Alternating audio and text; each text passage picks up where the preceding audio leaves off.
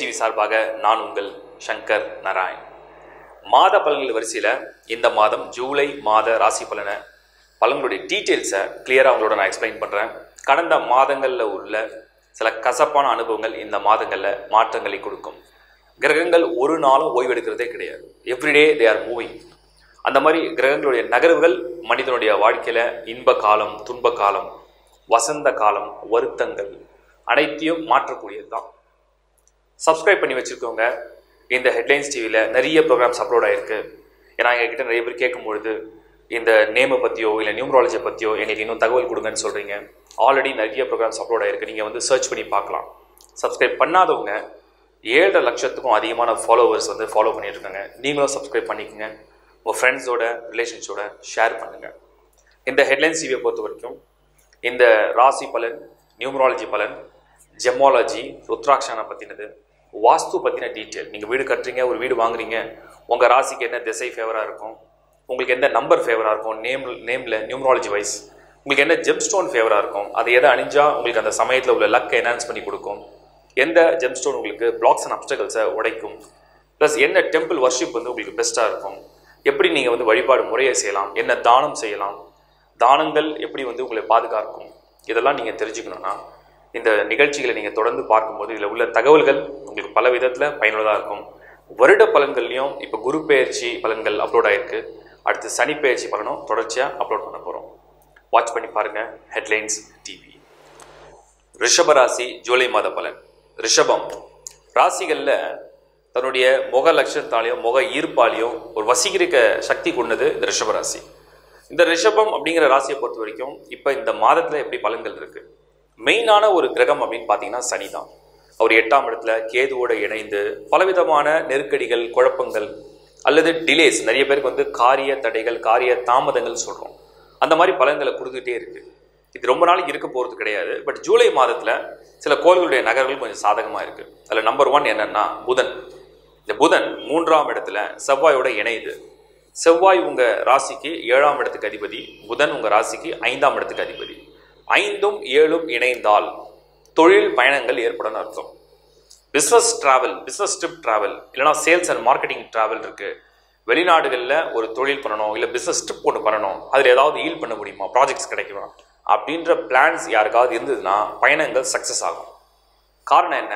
புதன் Lord of five அதே நேரத்தில் செவ்வாய் ஏழு ரெண்டும் இணையும் போது ராஜயோகம் செயல்படும். கேந்திரம் கோணம் இணையும் போது ராஜயோகம். இது வந்து ஏன் தொழில் கனெக்ட் பண்ணுது?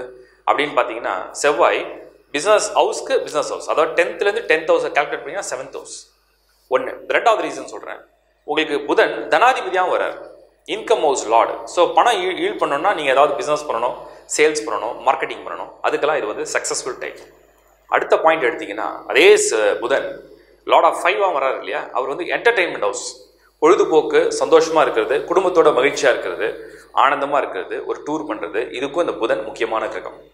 அப்போது செவ்வாய் புதன் இணையிற இந்த மாதம் ஜூலையில் உங்களுக்கு பிஸ்னஸ் ட்ரிப்பும் சான்ஸ் அதிகம். ஒரு சிலர் என்ன பிளான் பண்ணுவாங்கன்னா ஃபேமிலியும் அழைச்சிட்டு போய் அந்த இடத்துல அவங்க பர்சனல் என்டர்டைன்மெண்ட்டையும் பண்ணிக்குவாங்க. இது ரெண்டுத்துக்குமே இந்த மாதம் வந்து எக்ஸலண்ட்டாக இருக்குது ரிஷபம் அப்படிங்கிற ராசியை பொறுத்த வரைக்கும் குருவுடைய பார்வை. பாருங்கள் இந்த மாதத்தில் சுக்கரன் சூரியன் ராகு மூன்று கோள்கள் தனஸ்தானத்தில். நான் ஏற்கனவே சொல்லியிருக்கேன் ராகுவோட எந்த கோள் இணைந்தாலும் அந்த பிளானட்டுடைய எனர்ஜியை கம்ப்ளீட்டாக அந்த ராகு எடுத்துரும். அதுதான் செயல்படுத்தும். நார்மலாகவே இந்த ராகு பணம் கொடுக்குற கிரகம். இந்த பணம் கொடுக்குற கிரகம் ரிஷபத்துக்கு ரெண்டாம் இடத்துல இருந்தால் அது பணத்தை கண்டிப்பாக கொடுக்கும். ஆனால் அது கொடுக்கும்பொழுது கூட ஏதாவது பிளானட் இருந்தால் அந்த பிளானட்டோட எனர்ஜி எடுத்துரும். எடுத்து இது வழியாக அது கொடுக்கும். ஸோ சுக்ரன்னா என்ன? லார்ட் ஆஃப் வெல்த் கால புருஷனுக்கே காசு கொடுக்குற ஒரு கிரகம் வந்து யாருன்னா சுக்ரன் இந்த சுக்ரன் ராகுவோட இணையும் போது யோக காரகன் சுக்ரன் இணைகிறாங்க இவர்கிட்ட இந்த சக்தியை உள்வாங்கி இந்த ராகு அதன் வழியில் பணத்தை கொடுக்கும். இதில் மெயினாக கலைத்துறை சினிமா துறை இந்த துறையில் உள்ளவங்க என்டர்டெயின்மெண்ட் ஃபீல்டில் உள்ளவங்களுக்கு இந்த மாதம் கொஞ்சம் ஃபேவர் அதிகம். சடனாக ஒரு லக் மாதிரி ஒரு ஜாக்பாட் மாதிரி ஏதோ நடக்க போய் ஏதோ நடந்து அதனால் கொஞ்சம் காசு கிடைக்கிறது. மெயினாக மணி மேட்டர்ஸில் அது மணியும் கொடுக்கும் ஃபேமும் கொடுக்கும். ஏன் ஃபேம் கொடுக்குன்னா தேர்ட் ஹவுஸ் வந்து ஃபேமுக்கு சொல்லப்படுது. அந்த இடத்துல புதனும் இருக்கார். பாருங்கள் ஒரு பக்கம் புகழ் ஒரு பக்கம் பணம். இது ரிஷப லக்னமாக இருந்தாலும் பொருந்தும். ஒருவேளை நீங்கள் ரிஷப ராசி அல்லது லக்னமாக இருந்தாலும் இந்த ஜூலை மாதத்தில் சுக்கரனுடைய ராகுடைய இணைவு சூரியனுடைய இணைவு ப்ளஸ் புதன் செவ்வாயுடைய இந்த கன்ஜக்ஷன் தேர்ட் ஹவுஸில் என்ன இண்டிகேட் பண்ணுதுன்னா fame name sudden luck sudden money எதிர்பார்க்காத இடத்துல இருந்து வருமானம் திடீர் அதிர்ஷ்டம் மாதிரி. இப்போ ஃபாரினில் இருக்காங்க ஒரு சிலர் அவங்களாம் லாட்ரி ட்ரை பண்ணலாமான்னு கேட்டால் இந்த மாதத்தில் அது ட்ரை பண்ணலாம். குருவுடைய பார்வை நேராக ரிஷபத்தில் விழும். ஸோ அதனால் சடன் லக் அன்எக்ஸ்பெக்டட் லக்னு சொல்கிறோம் இது நடக்கிறதுக்கு சான்சஸ் அதிகம். ஓகே ரெகுலராக ஒரு வேலை பண்ணிட்டு இருக்கோம் அது எப்படி இருக்கும்? சனிதா எட்டாவது வீட்டில் இருக்கார் இல்லையா? அப்போ என்ன பண்ணுதுன்னா சோதிக்குது. பொறுமையை சோதிக்குது. சங்கடங்களை கொடுக்குது. சூழ்நிலையை வந்து தனக்கு சாதகமாக இல்லாமல் ஒரு போராட்டங்களாக கொடுக்குது. மாற்றிடலாம் வேறு வேலைக்கு போயிடலாம் வேறு ஷிஃப்ட் பண்ணலான்ற எண்ணங்களை வலுப்படுத்துது. ஆனால் ஒன்றும் பலனாக நடக்கலை. ஏனோ அது வந்து ஒரு மன சோர்வை கொடுக்குது. அந்த அளவுக்கு தான் இருக்குது அதனால் தளர்ச்சி வேண்டாம். இந்த கோள்கள் நல்லா இருக்கா? இதை ஆக்டிவேட் பண்ணிக்கங்க. அடுத்தது ஹெல்த் எப்படி இருக்கும்? இந்த ரிஷபத்துக்கு கடந்த ஒரு ரெண்டு ரெண்டரை வருஷமாகவே பார்த்தீங்கன்னா ஒன்று அவங்க பேரண்ட்ஸ்க்கு ஹெல்த் ப்ராப்ளம் கொடுக்குது. இல்லை அவங்க கணவன் மனைவியாக இருந்தாங்கன்னா பார்ட்னர்ஸ்க்கு ஹெல்த் ப்ராப்ளம் இப்போ ஒய்ஃபாக இருக்காங்கன்னா கணவனுக்கு கணவனாக இருந்தால் மனைவிக்கு. அடுத்து இவங்களுக்கே பார்த்தீங்கன்னா உபாதிகள் உபாதியோடு வேலை செய்வாங்க. வேலை பண்ணி ஆகணும் போய் தான் ஆகணும் நிர்பந்தம். ஆனால் அந்த கஷ்டங்களை சுமந்துக்கிட்டே செய்யக்கூடிய ஒரு பலன். அப்படிதான் அந்த ரிஷபத்துக்கு இருக்குது இது நிவர்த்தி பண்ண என்ன வழி? சனிக்கிழமைனா நீங்கள் இயலாதவங்களுக்கு கொஞ்சம் தானம் கொடுத்துருங்க. இந்த தானம் கொடுக்க கொடுக்க உங்கள் ஹெல்த் இஷ்யூ அப்படியே வெளியில் போயிடும். உங்களை விட்டு போயிடும். ஏன்னா நீங்கள் இன்னொருடைய பசி ஆற்றும் போது உங்களுடைய ஆயுள் உங்களுடைய ஆரோக்கியத்தில் உள்ள குறைகள் கடவுள் கண்டிப்பாக நீக்குவார். இது நீங்கள் ஃபாலோ பண்ணாலே போதும். உங்களுக்கு விருப்பமான கடவுளையும் நீங்கள் வணங்கலாம். ரிஷபம் திருமண யோகம் இந்த மாதம் எப்படி இருக்குது இந்த சுக்கிரன் ராகுட இணையறதுனால முறையான பெரியவங்க பார்த்து ஒரு அழகான ஒரு திருமண ஏற்பாடுகளில் சில தடைகளையும் தான் விரும்பக்கூடிய ஒரு வாழ்க்கை. அதுலேயும் குறிப்பாக கலப்பு திருமண யோகம்னு சொல்கிறோம் ஏன்னா சுக்கரன் எப்போல்லாம் ராகுவோடு சேர்ந்தோ அப்போல்லாம் வந்து இந்த கலப்பு திருமணம் அந்த மாதிரி யோகத்தை கொடுக்கும். அதுக்கு இந்த மாதம் கொஞ்சம் சாதகமாக இருக்குது குரு பார்வை வந்து ரிஷபத்தில் விழுறதுனால. மற்றபடிக்கு முறையாக நீங்கள் அரேஞ்ச் பார்த்துட்ருக்கீங்க. மேரேஜ் எப்போ நடக்கும்னு கேட்டால் இன்னும் கொஞ்சம் டிலே ஆகலாம். எஜுகேஷனுக்கு ட்ராவல் அண்ட் ஸ்டடி வெளியில் போய் நீங்கள் படிக்க ஆசைப்பட்டீங்கன்னா அதுக்கு சாதகமாக இருக்குது ஸோ ரிஷபம் நம்ம ஓவராலாக பார்த்தோம்னா இந்த மாதத்தை பொறுத்த வரைக்கும் ஒரு பக்கம் ரொம்ப பெரிய லெவலில் பீக்கில் கொண்டு போகும். இன்னொரு பக்கம் ஆஸ் யூஷுவல் உங்களுடைய ஒர்க்கில் அந்த ஒரு சின்ன தயக்கம் அந்த ஒரு சின்ன ஒரு மன உருக்கம் இதெல்லாம் கொஞ்சம் கொஞ்சம் இருந்துட்டு தான் இருக்கும். பெரிய பாதிப்பு எதுவும் கிடையாது. சுபம்.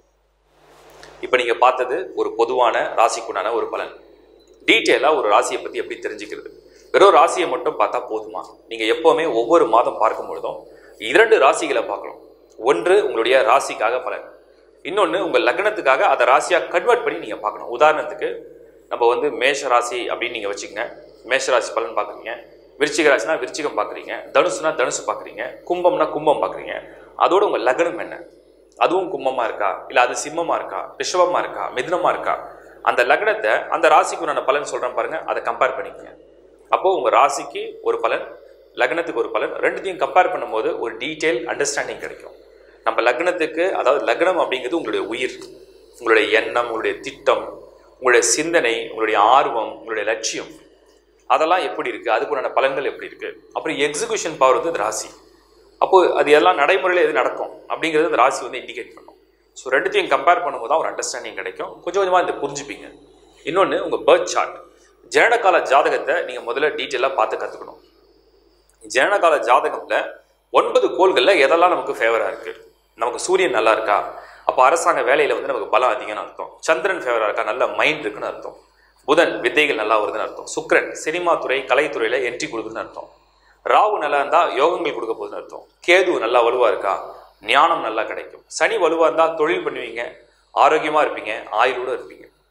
அது செவ்வாய் ரொம்ப நல்லா இருக்குன்னா பாதுகாப்புத்துறை அரசு துறை காவல்துறை மருத்துவத்துறை இந்த மாதிரி செவ்வாய் வந்து உங்களுக்கு பலத்தை கொடுக்கும் தைரியத்தை கொடுக்கும். அப்போ ஒவ்வொரு கிரகத்துக்கும் ஒரு சக்தி இருக்குது உங்களுக்கு எந்தெந்த கோள்கள்லாம் வலுவாக இருக்கோ லிஸ்ட் பண்ணிட்டீங்கன்னா எந்த கோள்கள்லாம் வீக்காக இருக்கோ அந்த மாதத்தில் அந்த ராசி லக்னங்களுக்கு அந்த வீக்கான பிளான் டிரான்சிட்டை மட்டும் தான் நீங்கள் வாட்ச் பண்ணிகிட்டே இருக்கணும். அதே மாதிரி தசா புத்திகள் ரொம்ப ரொம்ப முக்கியம் அது.